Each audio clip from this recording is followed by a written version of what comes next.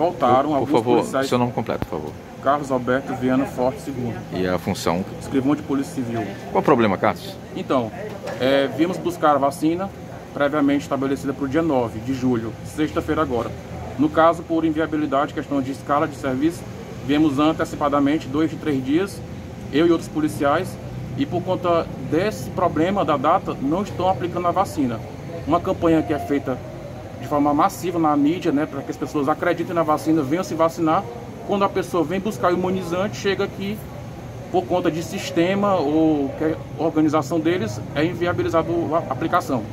Eu peço que vim aqui pedir para que eles possam antecipar a vacinação, já que a minha dose, se minha dose já está garantida, não faz diferença aplicar hoje, 80 e poucos dias depois da primeira dose, ou na sexta-feira, 90 dias, já que eu já estou aqui. E essa situação pode até levar as pessoas que viram, vi- eh, vieram a primeira vez desistirem, por conta da dificuldade de aplicação da vacina, da dose. Pode sim.